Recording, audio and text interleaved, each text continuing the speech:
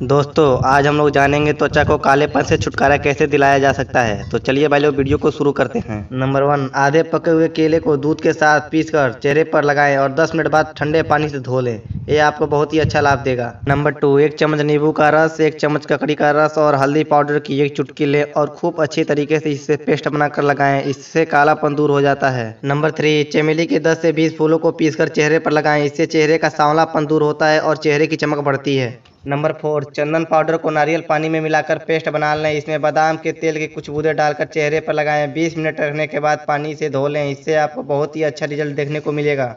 Video अच्छा लगा हो तो लाइक कीजिए एंड शेयर कीजिए। और ऐसे ही वीडियो देखने के लिए हमारे चैनल को सब्सक्राइब कीजिए।